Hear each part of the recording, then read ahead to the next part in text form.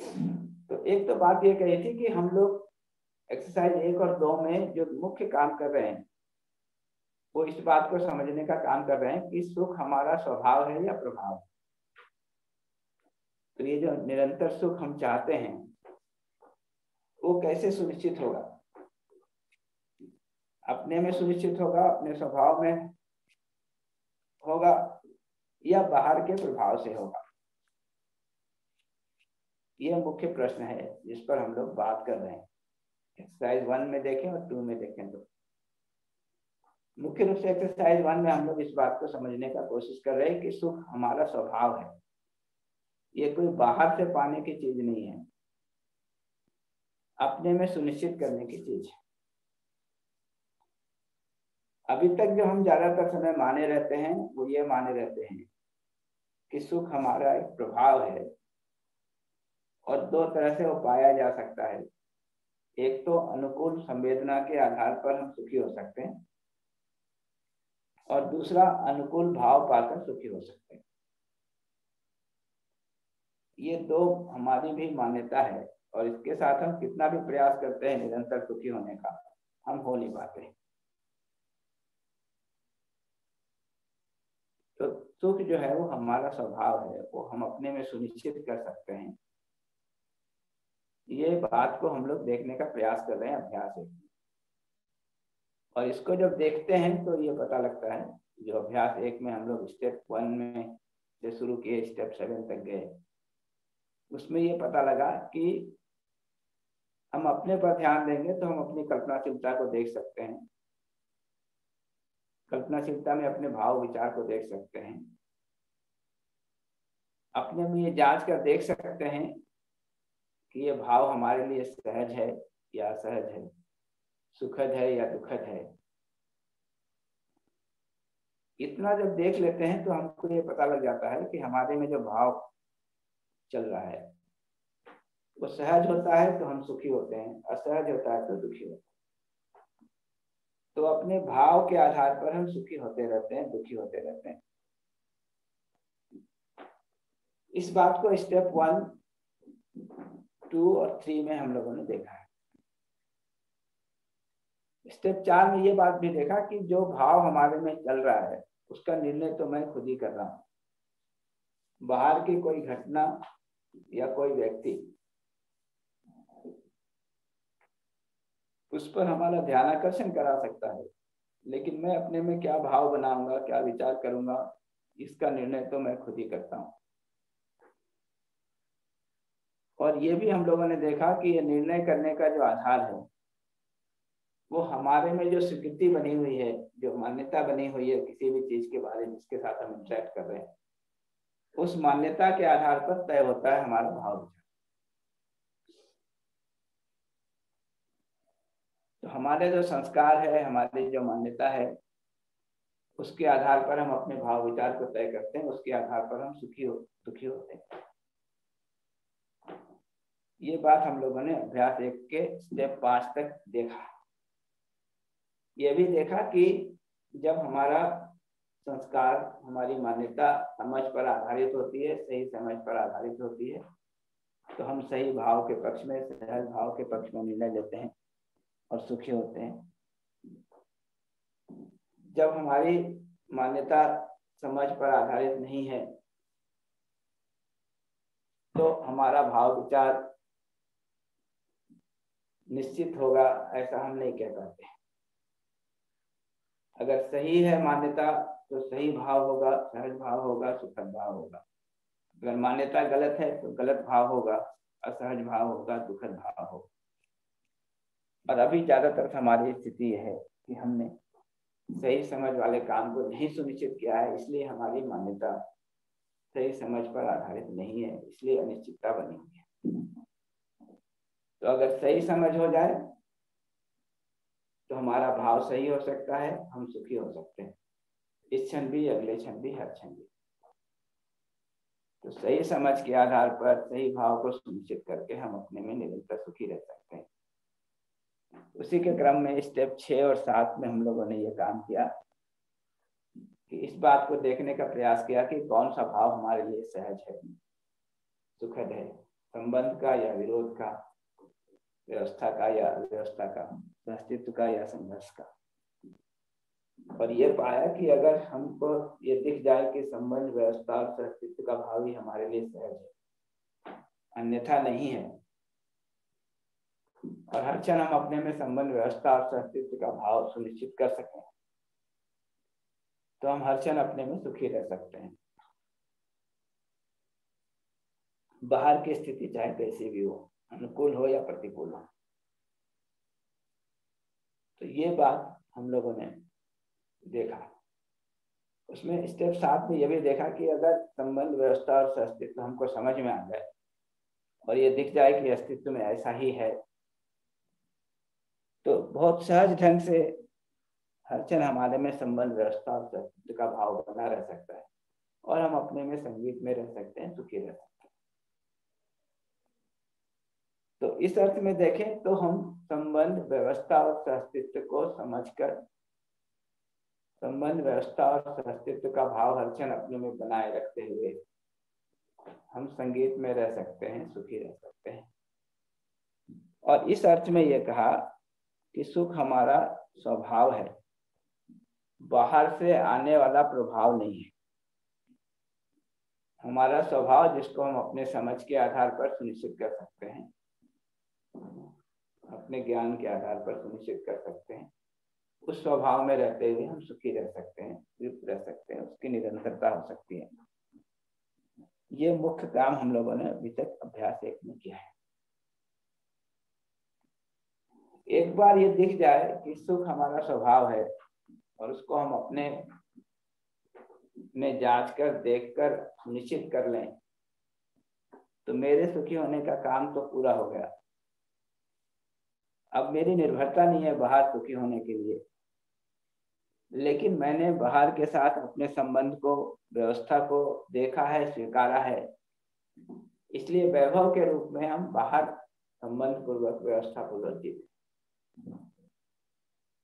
तो वो हमारे जीने का वैभव है। हमारी बाध्यता नहीं मैं जो परस्परता में जी रहा हूँ, वो सुखी होने के लिए नहीं जी रहा हूँ, सुखी होकर जी रहा हूँ। अभी तक क्या है, जब बाहर से कुछ पा के सुखी होना है तो उसके ऊपर निर्भरता है कि बाहर अनुकूलता होगी तो हम सुखी होंगे।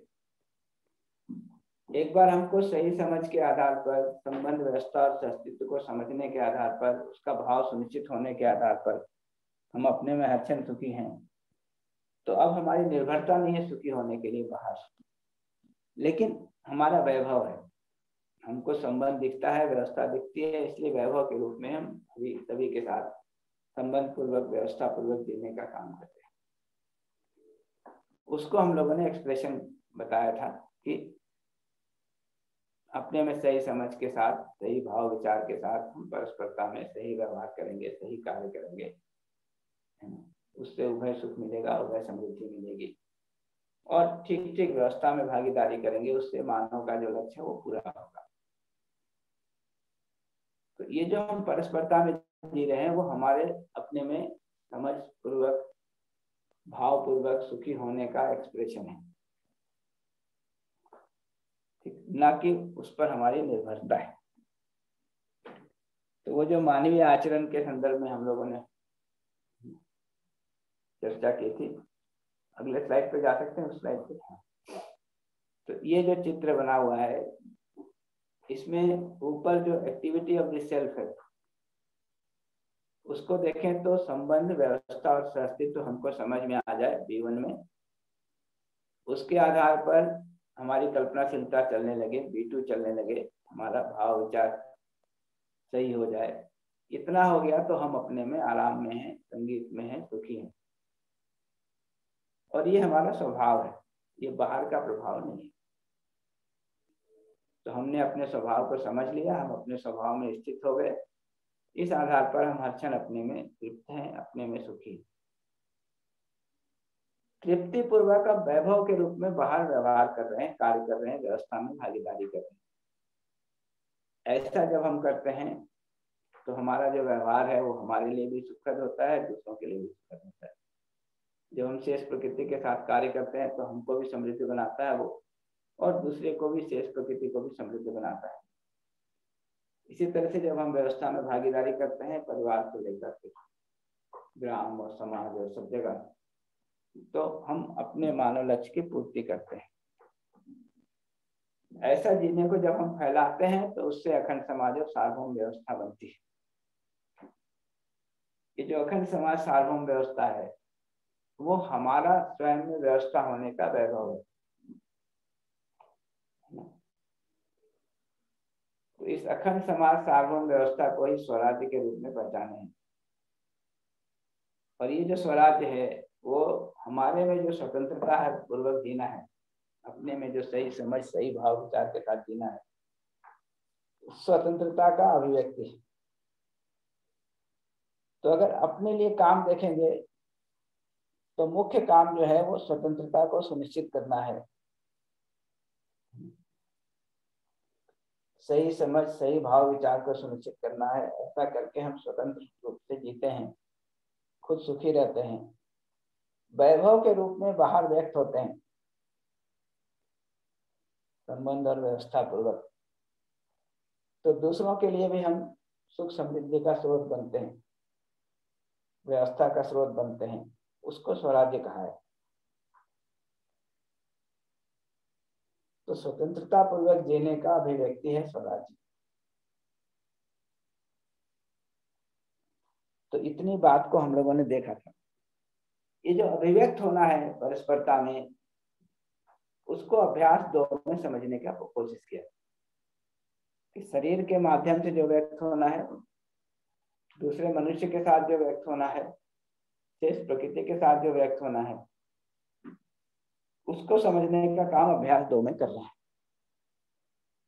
तो अभ्यास दो के सारे स्टेप्स को देखेंगे तो वो इस बात पर चर्चा है, इस बात को देखने का प्रयास है कि हमारे में अगर स्थिति हारमोनी की है, सुख की है तो हम परस्परता में कैसे व्यक्त होंगे?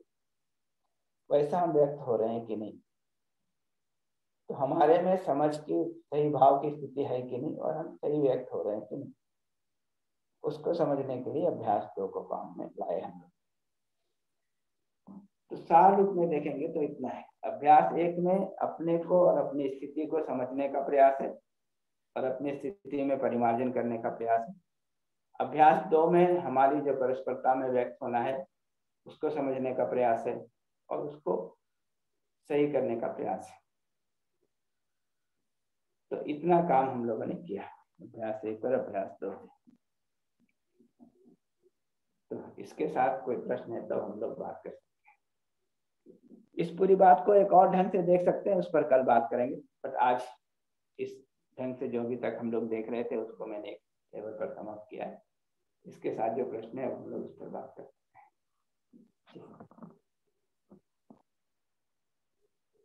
नमस्ते भैया। नमस्ते नमस्ते। ये चार्ट दिख रहा है ना?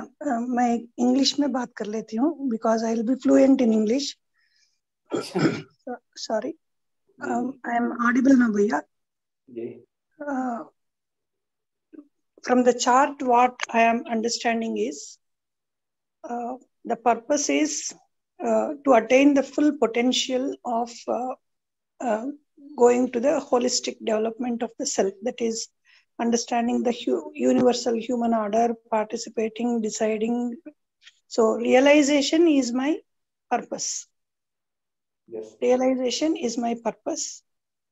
Then chart के नीचे जो दिख रहा है expression outside is my current behavior. Is my is my current uh, uh, competency. Sorry to uh, tell it is expression outside. What i am doing now is my competency. So from this competency to i have to attain that realization this is where i am. If i have to understand the gap between my purpose and my competency. Uh, my as my uh, understanding is uh, uh right ganesh uh, Competency is outside or inside the self? Uh, expression is happening inside also outside also. Some contradictions are happening there also. That also i am able to see. Yeah. So, So, what we are first, uh, Hmm, has to do with the state of the self. Not- hmm, yes.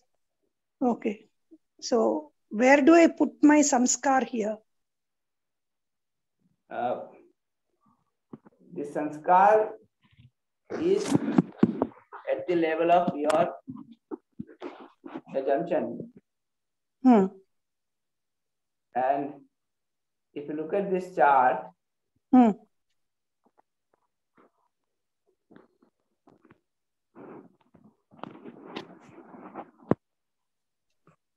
if you look at this activity number three and two, 3 and 2 right bhaiya? That contemplation and understanding, hmm, hmm, there I have my acceptances about the reality, okay. About the self organization of that reality, about which Hmm. participation in the larger reality.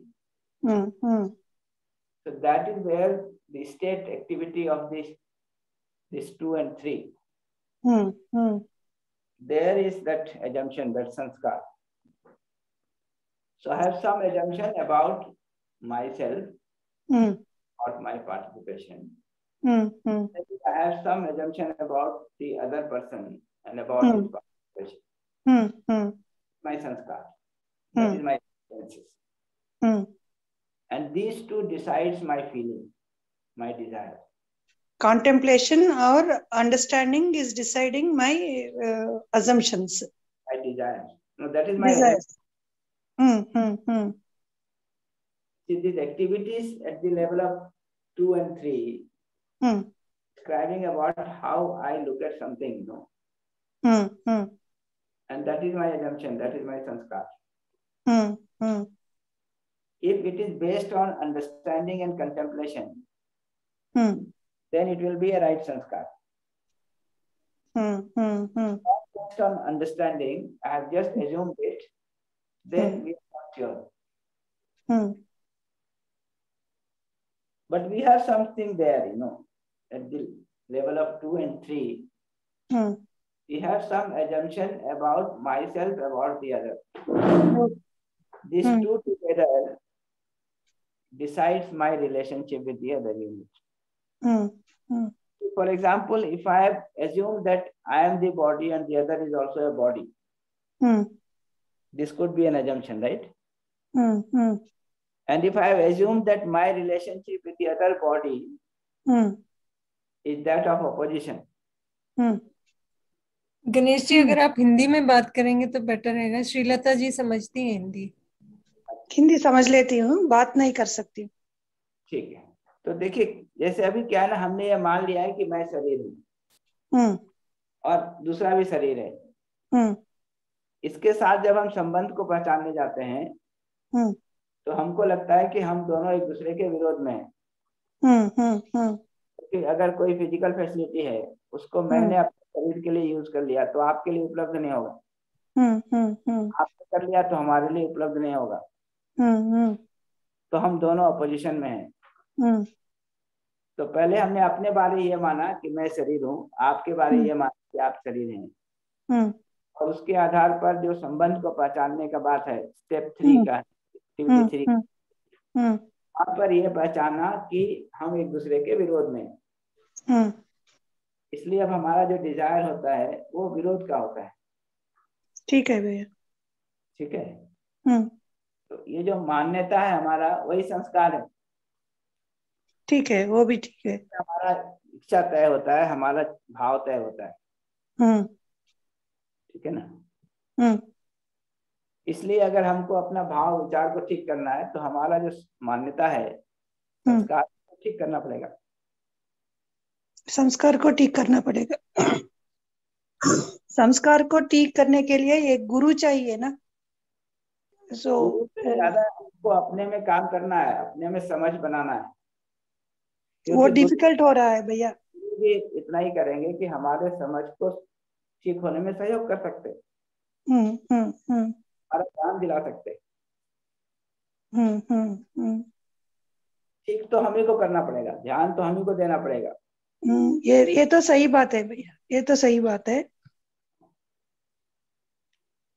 ध्यान हमको देना पड़ेगा सही हमको करना पड़ेगा। गुरु का जो उपकार है वो ये है कि हमारा सही की तरफ़ ध्यान दिला देते हम्म हम्म हम्म हम्म। लेकिन अगर हम ध्यान नहीं दे तो हमारे में कोई बदलाव नहीं होगा। ठीक है ठीक है। होगा। अगर गुरु ध्यान ध्यान ना दें तो क्या होगा? कुछ बदलाव होगा हमारे में? नहीं हो नहीं होगा। वैसे सब गुरु लोग बेकार घूम रहे हैं क्या? हम्म हम्म हम्म। अब तो ये खराब ही हो गया कि जो एजुकेशन जैसा हम दे रहे हैं उसमें तो टीचर भी गुरु है नहीं। एक तो ये प्रॉब्लम है। दूसरा ये भी तो उसकी कोई सुन रहा है। ये गैप समझ में आती है भैया। Implementation at the self level is becoming tough and because of my sanskar only that also I am able to see where to correct is my question.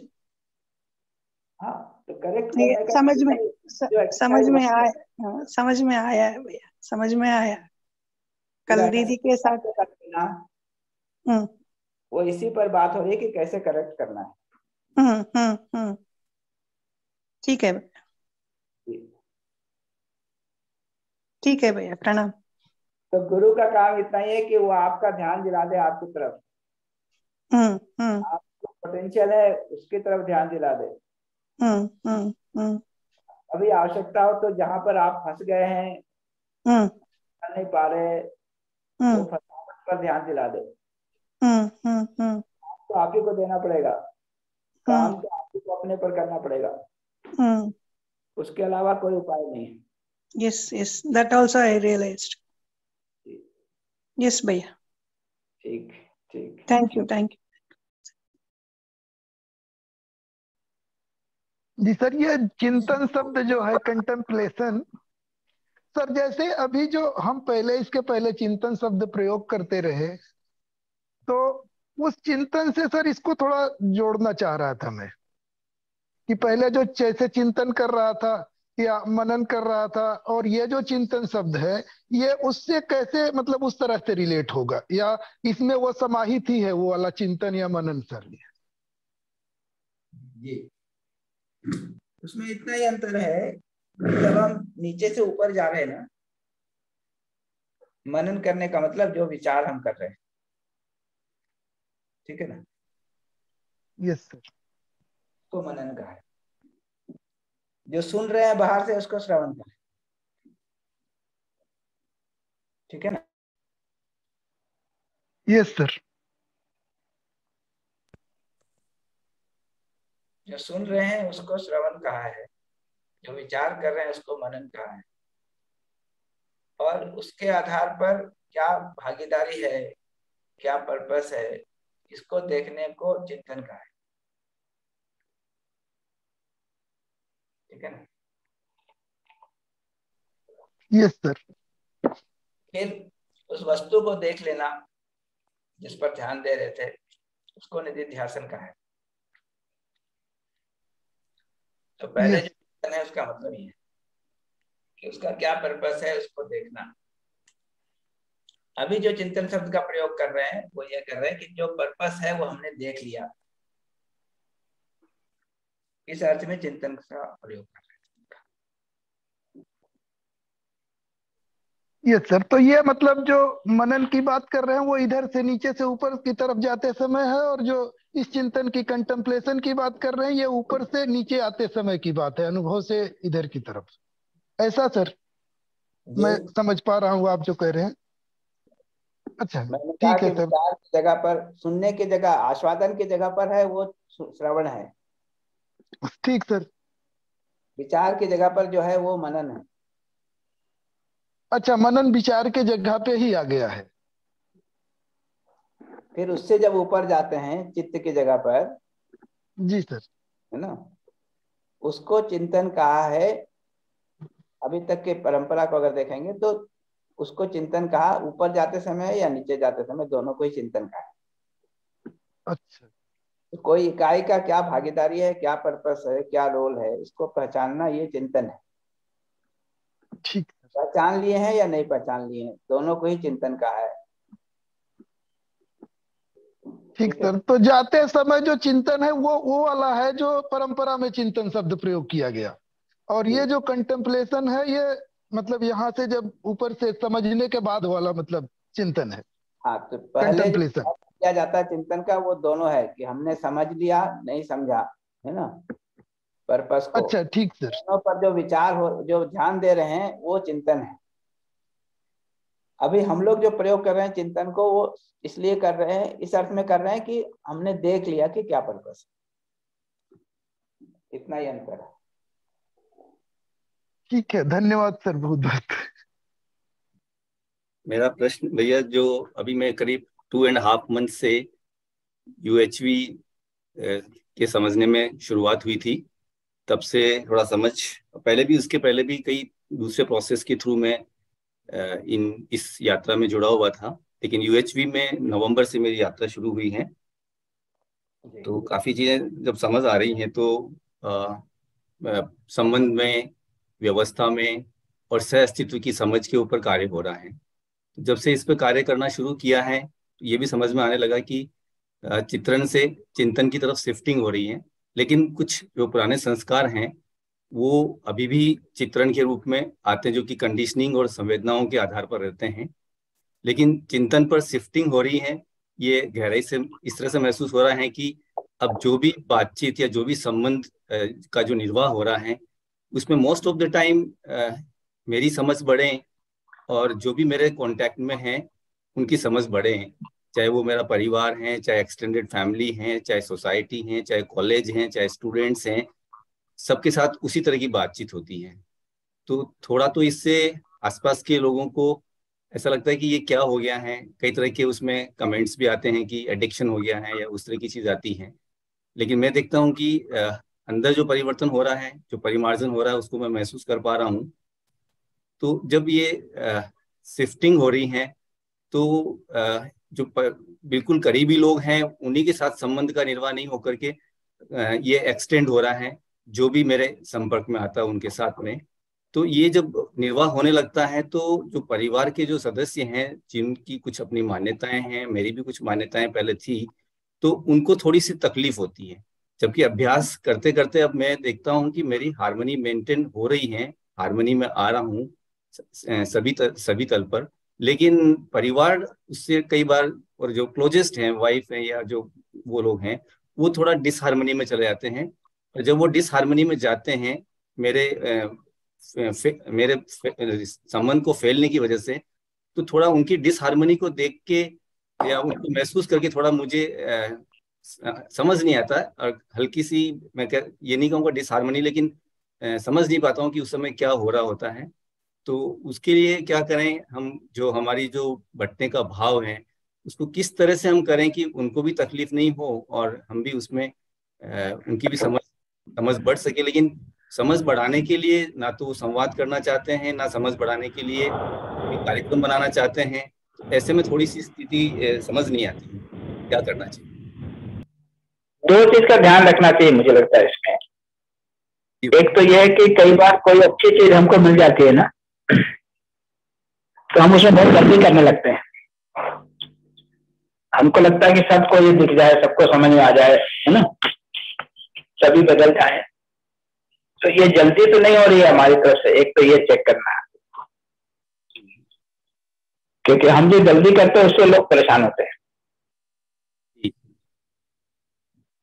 तो एक ये ध्यान में रखें कि हम जल्दी तो नहीं कर रहे दूसरा, अगर हम धैर्य से चल रहे हैं, अपने पर काम कर रहे हैं, है ना?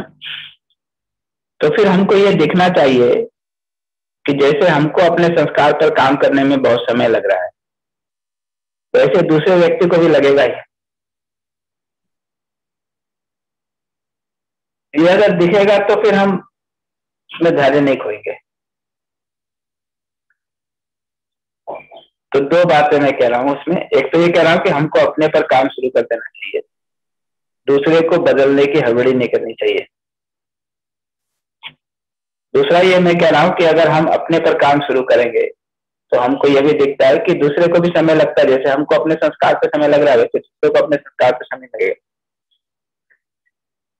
है ना? नहीं भैया दूसरों तो वहाँ को भैया दूसरों को बदलने की हड़बड़ी नहीं है। हमारे में जो बदलाव आ रहा है, हमारे में जो समझ आ रही है, उसके अकॉर्डिंग हमारा बिहेवियर या हमारा कार्य या पार्टिसिपेशन जो बढ़ रहा है, उसकी वजह से और दूसरा उस प्रोग्राम में उनका कोई प्रोग्राम नहीं है तो इस वजह से उनको कहीं जेलेसी या कई तरह की जो चीज़ें अंदर होती हैं, जो उनकी मान्यताओं के आधार पर हैं, कि जो एक पति से एक्सपेक्टेशन है या पिता से एक्सपेक्टेशन है, उस तरह की जो मान्यताएँ, उनकी जो स्ट्रॉन्ग बनी हुई है, क्योंकि उनका कोई प्रोग्राम नहीं है कार्यक्रम नहीं है तो और समझना मुश्किल होता है और वो पीड़ा में चले जाते हैं। मेरी हड़बड़ी नहीं है कि वो समझे, लेकिन जो समझना चाह रहे हैं, उनके साथ इसी तरह की बातचीत होती है या इसी तरह का कार्यक्रम बन रहा है। जी जी, मैं उसी के संदर्भ में कह रहा हूँ कि उनको जो पीड़ा होती है, वो उनके संस्कार के कारण हो रही है। वो संस्कार अभी बदले नहीं है, आपके कुछ बदल गए, है ना? उनका बदला नहीं है इसलिए वो अपने संस्कार से मूल्यांकन करते हैं और उनको लगता है कि आप ठीक नहीं कर रहे तो वो पीड़ित होते हैं। लेकिन मुख्य प्रश्न ये है कि उनकी पीड़ा के कारण आप पीड़ित क्यों हो रहे हैं? साथ रहते हैं भैया पूरा टाइम देखते हैं किसी को पीड़ा में है तो कहीं कहीं तो हमारे वो कारण नहीं है। आप उसका कारण यह है कि आप ये अपेक्षा कर रहे हैं कि उनके संस्कार तुरंत बदल जाए और नहीं बदल रहे। अगर हमको ये दिखता कि संस्कार को बदलने में टाइम लगता ही है है ना? और आज के दिन जो उनके संस्कार हैं उसके तहत वो इसको ठीक से मूल्यांकन नहीं कर पाएँगे है ना? तो हम धैर्य रखते। हम ये अपेक्षा ही नहीं करते कि तुरंत बदल जाए। हम तो इस ये धैर्य का मतलब आप ये कह रहे हैं कि जो बटने का भाव है उसको थोड़ा स्लो किया जाए अगर उनको तकलीफ़ हो रही है तो। हम अभी ये भी नहीं कह रहे हैं हम उससे अधिक ये कह रहे हैं कि हमको ये प्रोसेस समझ में आए कि हमारे संस्कार को बदलने में हमको समय लगता है। दूसरे को संस्कार को बदलने में भी दूसरे को समय लगेगा। तो अभी उनके उनके संस्कार को बदलने के लिए कोई प्रयास नहीं कर रहा हूँ मैं। नहीं नहीं तो अगर उनका संस्कार नहीं बदलेगा तो उनको तो तकलीफ़ होगी। अपने संस्कार से वो जो देखेंगे आपके एक्टिविटी को उसका मूल्यांकन नहीं कर पाएँगे। तो दुखी होंगे वो। वो दुखी होने से हम क्यों दुखी हो रहे हैं? हमको समझ में आना चाहिए कि भाई ये तो दुखी होंगे ही, एक बात। दूसरी बात, जो अभी आपने एक निष्कर्ष कही, वो भी इम्पोर्टेंट निष्कर्ष है कि जब हमको दिखता है कि ये संस्कार के साथ दुखी होने वाले ही है, और हम चाहते हैं कि अभी वो इतनी जल्दी दुखी ना हो, कम से कम हमारे कारण तो हम थोड़ा धीमे गति से चलेंगे। ओके।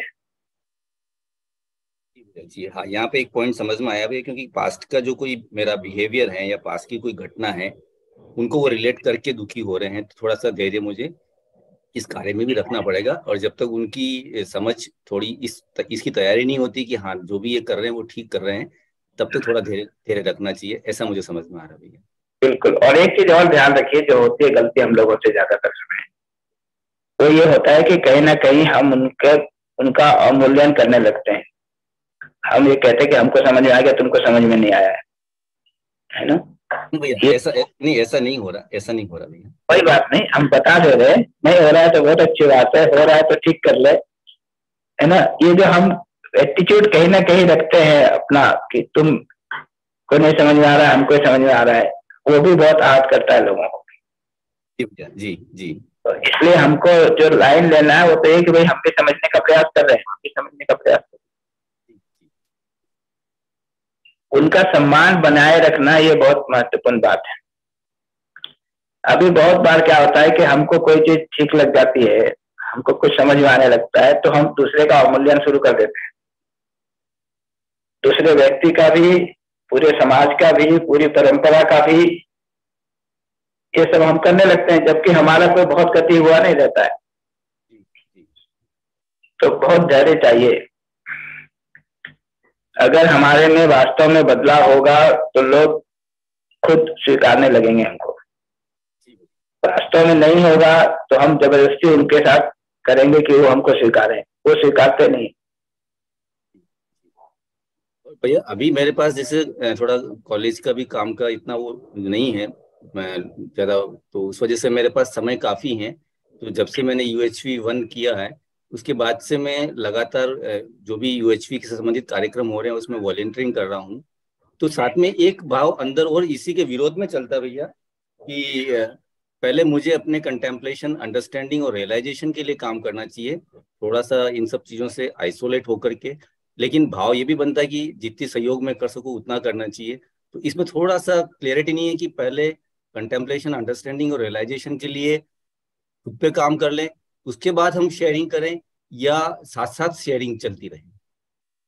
वही उसको तय कर लीजिए, अगर सीधा सीधा उस पर काम कर सकते हैं। है ना? कंटेम्पलेशन अंडरस्टैंडिंग और रियलाइजेशन पर तो सीधा सीधा काम करिए। अगर ऐसा सीधा सीधा होता नहीं है है ना? तो भागीदारी करते हुए करिए। हम लोग का जो एक्सपीरियंस है वो ये है कि एक प्रतिशत लोग ही सीधा सीधा काम अपने पे कर पाते हैं। और उनको भी अगर अभिव्यक्ति नहीं मिलती है है ना तो थोड़े समय के बाद परेशान हो जाते हैं। ज़्यादातर लोगों के लिए तो यही सूट करता है कि वो भागीदारी करते हुए अपने पर काम जारी रखें। तो हम लोग का एक्सपीरियंस ये है कि जो लोग भागीदारी करते हुए करते हैं, वो उनमें ज़्यादा गति दिखाई पड़ती है। जिन्होंने भागीदारी को न करके अपने पर शुद्ध रूप से काम करना, ऐसा सोचकर करने गए, उनमें से ज़्यादातर लोग कुछ समय के बाद ड्रॉप ही हो जाते हैं। उनका प्रोसेस ही रुक जाता है। बट आप अगर डायरेक्टली कर सकते हैं तो बहुत अच्छी बात है, उसको करना चाहिए। बट अभी हमारा जीना इतना कुछ बाहर डिपेंडेंट है कि अगर आप कार्यक्रम कुछ नहीं लेंगे, भागीदारी नहीं करेंगे तो आपका ध्यान भी इस पर बना नहीं रहता। आप और कामों में व्यस्त हो जाते हैं। तो इसलिए अगर आप हमसे पूछेंगे कि सीधा काम करें या भागीदारी करते हुए करें, मैं कहूँगा अगर सीधा कर सकते हैं तो कुछ दिन करके देखें। तो आपका ध्यान इधर उधर भटकने लगे तो फिर भागीदारी पर आ जाए। कि कम से कम इसकी भागीदारी करेंगे तो उस बहाने ही आपका बहुत सारा ध्यान इस पर बना रहेगा। बहुत क्लियर, बहुत क्लियरिटी से आपने आंसर किया भैया। बहुत बहुत धन्यवाद आपका। बस ये दोनों दोनों में ये थोड़ा देखना पड़ेगा क्योंकि अभिव्यक्ति के साथ हमारी ग्रोथ हो रही है, उसका हमें पता चलता है, हमारी चेकिंग भी होती है। लेकिन पूरी तरह से अभिव्यक्ति में लगते हैं, पूरी तरह से अभिव्यक्ति में अगर लग जाए तो अपनी समझ या अपने प्रोसेस अपने को देखने के कार्यक्रम में थोड़ी सी ढिलाई हो जाती है तो इसको एक बैलेंस करना पड़ेगा दोनों के साथ। भाई, इसलिए हम लोग तो कह रहे हैं कि तीनों काम करना हमको self development team development and societal development ठीक है ना? उसमें बेस में तो सेल्फ डेवलपमेंट को रखें। बट उसके साथ ये बाकी दोनों को करेंगे तो वो भी आपके सेल्फ डेवलपमेंट में सही होगी। बट सीधा सीधा सेल्फ डेवलपमेंट के लिए काम कर सकते हैं तो बहुत अच्छी बात है। करें, करके देखें उसको। एक्सपीरियंस हम लोग का यह है कि ज़्यादातर लोग उसको कंटिन्यू नहीं कर पाते। कि हम अलग से बैठ के आइसोलेशन में करेंगे। और भागीदारी नहीं करेंगे और सब कंप्लीट हो जाएगा सेल्फ डेवलपमेंट तब भागीदारी करेंगे। ऐसा बहुत लोग प्रयोग करके देखते हैं, फिर वो उसको कंटिन्यू नहीं कर पाते। बट अगर आप कंटिन्यू कर सकते हैं तो उसको पहले कर लीजिए। फिर टीम डेवलपमेंट और सोसाइटल डेवलपमेंट पे काम करिएगा। कभी भी आपको लगे कि नहीं, हमारा ध्यान इधर उधर ही भटक रहा है तो फिर ये प्रोसेस यूजफुल है। कि कोई निश्चित भागीदारी, सार्थक भागीदारी ढूंढ लीजिए, भागीदारी करते हुए अपने पर काम करिए। बट काम अपने पे करना मुख्य बात है। उसको छोड़ के करेंगे तो भागीदारी भी ठीक से नहीं कर पाएँगे। भैया, यहाँ पे जो चित्रण और चिंतन जो दोनों को लिखा हुआ डिज़ायर के साथ में तो मैं इसको इससे से समझ पा रहा हूँ कि जो चित्रण है that is that is guided by sensation pre conditioning and natural acceptance तीनों से गाइडेड होता है पर कंटेम्पलेशन है वो केवल नेचुरल एक्सेप्टेंस से गाइडेड होता है। ऐसा है क्या भैया? हाँ अभी तो ऐसा है लेकिन अल्टीमेटली हम लोग ये चाहते हैं कि हमारा जो चित्रण है वो चिंतन से ही गाइड हो। इसीलिए रेड एरो बना हुआ है। चिंतन से गाइडेड हो इसका मतलब नेचुरल एक्सेप्टेंस से गाइडेड हो। जी। तो भैया लेकिन अभी जो पुराने संस्कार हैं इसमें मैं देख रहा हूँ कि कंडीशनिंग पे तो काफ़ी काम हो पा रहा है लेकिन कुछ सेंसेशन ऐसे हैं जो अभी भी चित्रण में है और चिंतन से गाइडेड होते हैं तो चिंतन उसको ठीक तो नहीं मानता लेकिन वो इतने स्ट्रोंग है कि हम उसमें फिर भी बार बार उस चित्रण में चले जाते हैं। तो उसके लिए क्या प्रयास करें भैया? क्योंकि अगर हम रोकते हैं तो इसका मतलब दमन होता है। कुछ एक सेंसुअल प्लेजर्स की बात कर रहा हूँ मैं जो कि चित्रण में पुराने संस्कारों की वजह से आ ही जाते हैं।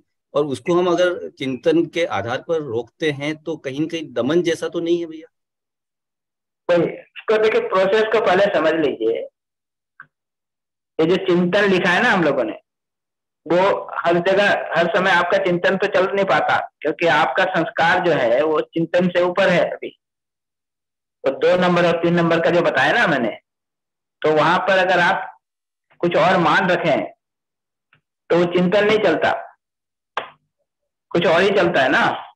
और उसी से चित्रण तय हो जाता है। ये दो नंबर और तीन नंबर क्या? तो जो एक्टिविटीज़ की बात की ना हम लोग सेल्फ की एक्टिविटी जो देख रहे थे ना।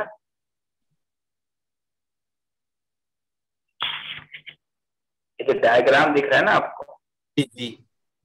इस पे जो एक्टिविटी नंबर दो है और अंडरस्टैंडिंग अंडरस्टैंडिंग एंड कंटेम्पलेशन जी। है ना? जी जी। ये जो अंडरस्टैंडिंग एंड कंटेम्पलेशन आपका जो जगह है वहाँ पर हमेशा अंडरस्टैंडिंग एंड कंटेम्पलेशन है ऐसा भी है नहीं। जी। वहीं पर तो मान्यताएँ हैं जो बिना समझे हमने मान लिया है। तो संस्कार का जगह भी वही है।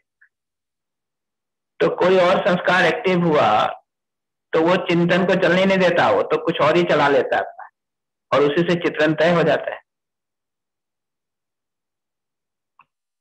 ठीक है ना? हाँ तो जो कंटेम्पलेशन है वो अभी अंडरस्टैंडिंग से गाइडेड नहीं है वहाँ पे कुछ और चीज़ें भी उसको गाइड करें जो कि पुराने संस्कार है। जी और उसका कारण ये है कि अंडरस्टैंडिंग की जगह पर भी अंडरस्टैंडिंग प्लस और बिना अंडरस्टैंडिंग के संस्कार है वो सब वहीं पे है। तो अंडरस्टैंडिंग का काम भी हुआ नहीं ना ठीक से? नहीं हुआ भैया अभी हाँ। तो वहाँ जो भी उसके बारे में संस्कार बना हुआ है वो और उसके आधार पर जो आपका लक्ष्य तय होता है है ना, संबंध में। वो वो दोनों गड़बड़ होता है, इसलिए चित्रण गड़बड़ हो जाता है। ठीक है ना? तो उसको दमन करने की ज़रूरत नहीं है। क्या करना है उसको? उसको देखने की ज़रूरत है। तो अगर आपका चित्रण गलत हुआ, उसको देखिए। उसके पीछे जो संस्कार है गलत, उसको देखिए। देख के उसका मूल्यांकन कर लीजिए कि ये सहज है कि असहज है सुखद है कि दुखद है। बस इतना ही तो करना है और कोई प्रतिक्रिया मत करिए।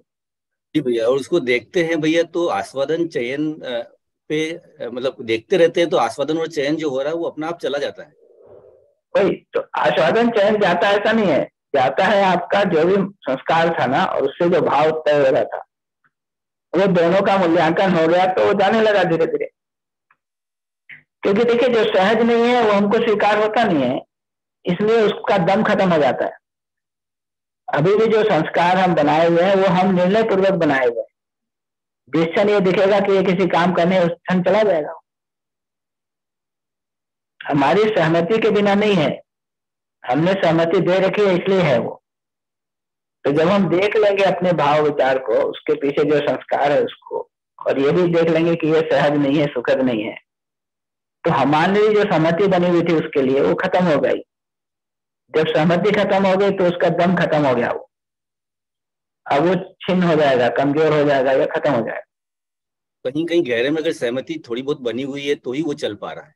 एग्जैक्टली एग्जैक्टली कहीं ना ये, कहीं ये आस्वादन और जो चयन है ये अ, अ, अंदर जैसे ये इमेजिनेशन की घटना है कि ये बाहर से भी गवर्न है दोनों टेस्टिंग और सेलेक्टिंग देखिए बाहर से कुछ इनपुट आ रहा है लेकिन सपोर्ट कौन कर रहा हो तो हम ही कर रहे हैं ना। ये दोनों तरफ़ से गवर्न है भैया भीतर से भी और बाहर से भी? वही कहना बाहर से गवर्न नहीं है बाहर से चॉइसेस के रूप में है वो। गवर्न तो अंदर से ही है। वो जो उदाहरण हम लोग बार बार लेते हैं ना कि आप रास्ते में जा रहे हैं और आपको पाँच सौ रुपए का एक नोट दिखता है है ना? आपका ध्यान तुरंत उस नोट पर जाता है। बहुत सारे और कागज़ पर नहीं जाता है। तो ये कैसे गवर्न है? अपने अंदर से गवर्न है कि बाहर से गवर्न है? अंदर से ही है भैया। है ना? तो बाहर से तो ध्यानाकर्षण हुआ। क्योंकि अंदर की मान्यता ने ये दे रखा है कि ये 500 का है इसकी एक वैल्यू अंदर बनी हुई है इसलिए वो एग्जैक्टली तो आप उसके बाद ध्यान भी इसीलिए दिए क्योंकि आप उसको महत्वपूर्ण माने हुए तो ये अंदर वाले को ठीक करना है अपने को बाहर वाला तो फिर ठीक होने लगेगा। ये देखिए ना इतने सारे घर बनाए ना अच्छे अच्छे घर। ठीक है? ये मेरा घर है उसको हम पहचान मानते हैं ना घर थोड़ी मानता है।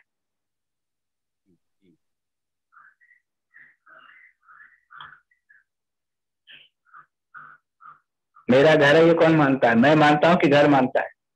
यही यही चीज़ संबंध में भी आती है कि मैं नहीं मान रखा कि मेरे मेरी बेटी है मेरी पत्नी है ये संबंध में भी आती है। जी जी जी। और मेरी बेटी है वहाँ तक मानना फिर भी ठीक। लेकिन मेरी बेटी है इसलिए इसके लिए हम कुछ भी कर सकते हैं।